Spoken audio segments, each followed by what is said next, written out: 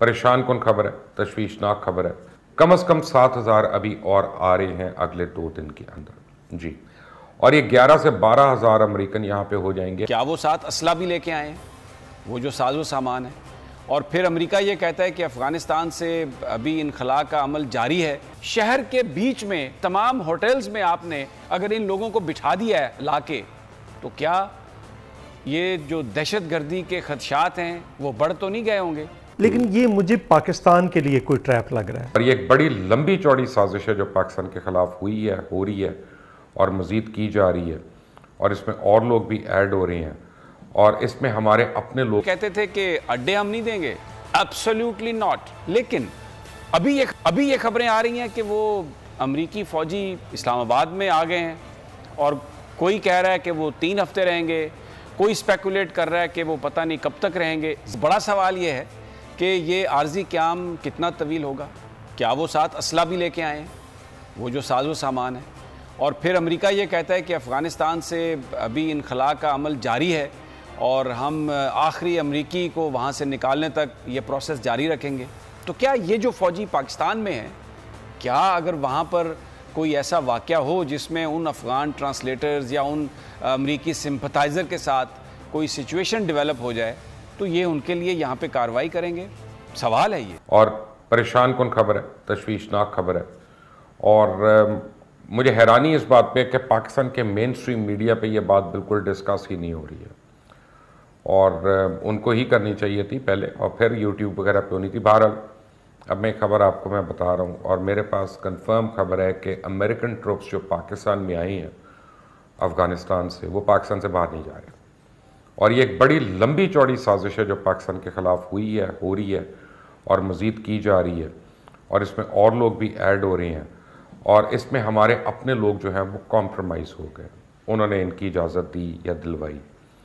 और हमें ये पता चल रहा है कि हमारा फॉरेन ऑफ़िस जो है वो टोटल डिसरे में है। उनकी आपस में बन नहीं रही, ख़ासतौर शाह महमूद कुरैशी और मुईद यूसुफ की जो आपस की अनबन है या आपस की जो मुँह मारी है, उसकी वजह से नुकसान जो है वो पाकिस्तान को उठाना पड़ रहा है।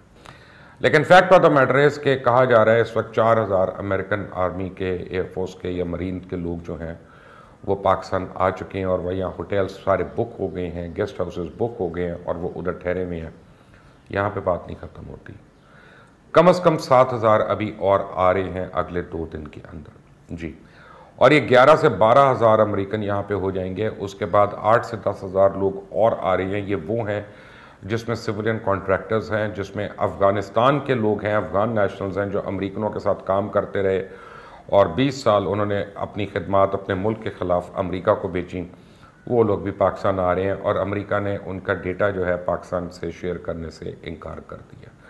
डेटा शेयर करने का मतलब यह है कि अगर मुबशर लुकमान है, मुबशर लुकमान आई डिपार्टमेंट में काम करता है मुबशर लुकमान फ़र्ज़ करें वहाँ पर एस e का काम कर रहा है तो ये डेटा होता है कि ये शख्स क्या है, क्या काम करता रहा है, इसकी क्या स्ट्रेंथ है।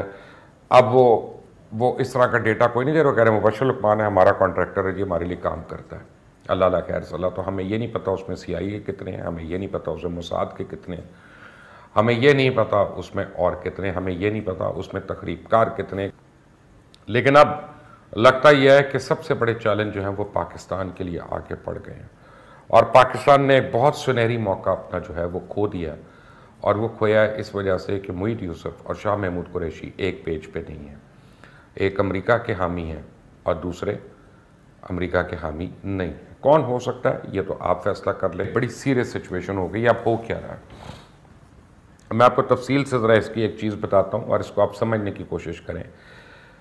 कि अमेरिका पाकिस्तान से तीन महीने से कोशिश कर रहा था बेसिस लेने की और पाकिस्तान उसको बेसिस नहीं दे रहा था, पाकिस्तान उसको परमिशन नहीं दे रहा था और पाकिस्तान का ये ख्याल था कि यहाँ से जब हमला होता है अफ़गानिस्तान के ऊपर, वहाँ तालिबान की हुकूमत होती है तो तालिबान अमेरिका तक तो जा नहीं सकते। तो वो अपना टारगेट पाकिस्तान को बना लेंगे कि पाकिस्तान की सॉइल यूज़ हो रही है और पाकिस्तान के अंदर से हमला हो रहा है। तो उन्होंने डायरेक्ट अटैक्स सिर्फ़ पाकिस्तान पे करने और पाकिस्तान की गुडविल जो है वो ख़राब होनी है।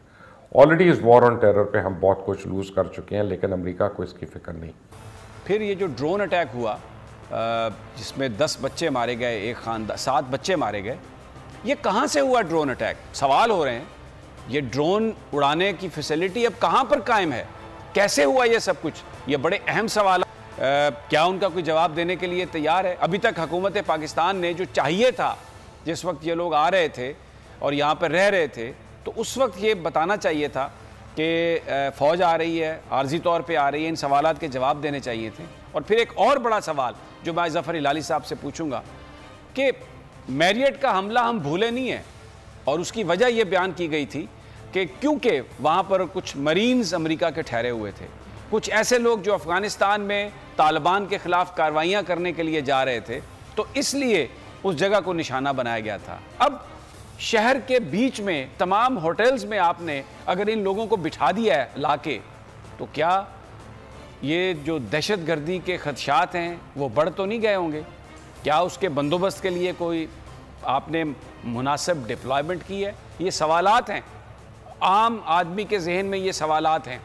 और सवाल करने से मामला हल होता है अगर जवाब मिल जाए तो। सवाल करना कोई किसी इस्टेब्लिशमेंट या हुकूमत या किसी मुल्क के ख़िलाफ़ उसको तस्वुर नहीं किया जाता। जफ़र इलाली साहब 20 साल बाद अमेरिका निकला वहाँ से अफ़गानिस्तान से वो तो मुल्क आज़ाद हो गया लेकिन उसके कुछ जो लोग हैं वो इधर बैठ गए आके इस्लामाबाद में। कहा तो जाता है कि ये आर्जी स्टे है शेख रशीद साहब ने ये कहा। लेकिन जिस अंदाज में ये मामला अनफोल्ड हुआ है कोई पाकिस्तान के लोगों को उनकी आमद से पहले इतमाद में नहीं लिया गया। क्या ये मामला इतना अहम नहीं था कि इस हवाले से कोई कम्युनिकेट जारी किया जाता, आवाम को इस हवाले से एतमाद में लिया जाता? अभी इस वक्त जो स्पेकुलेशन हो रही है, फिर कम अज कम उससे आप अवॉइड कर लेते। तो निकले हैं अफ़गानिस्तान से, वो एक अग्रीमेंट के मुताबिक निकले हैं। उस अग्रीमेंट पे कहता है कि आप लोग अब दहशत गर्दों को नहीं पढ़ा देंगे देंगे और आपका ज़मीन दहशत गर्द से, से हमला दूसरे मुल्क पर नहीं कर सकेगा। हमें ये कम से कम ये दो प्रोविज़न थे। अब विकल्प तो वो गए हैं? मगर मिसाल के तौर पे अगर कल हमला हो गया contrary to the agreement, agreement law, तो ने उस उस एग्रीमेंट में अपना किया है कि फिर हम आएँगे। है कि फिर हम आएँगे बल्कि उन्होंने अनाउंस कर दिया है फिर हम आएँगे और हम एक्शन एक्शन लेंगे एक्शन करेंगे। तो अब बात यह है कि इन लोग निकल तो उधर गए हैं ये तो कोई अग्रीमेंट में नहीं था कितना दूर जाएँगे। और ये भी बिल्कुल सही कह रहे हैं आप मेरे ख्याल में अग्रीमेंट नहीं था कि पाकिस्तान में कब तक ठहरेंगे। मगर कम से कम दो तीन हफ़्ते पाँच सात आठ दस हज़ार लोगों को निकालने के लिए आ, मेरे ख्याल में अगर कोई चाहा तो ये अनरीजनेबल श्योरली नहीं है। मज़े की बात ये होगी जब अगर इनको वापस भेजा गए कोई अमेरिकन सिटीजन को और या कोई दहशत गर्दी के ख़िलाफ़ एक्शन लेने तो फिर तो अमेरिकन ये नहीं पूछेगा कि हम किधर से भेज रहे हैं हमारे ट्रूप्स को वापस।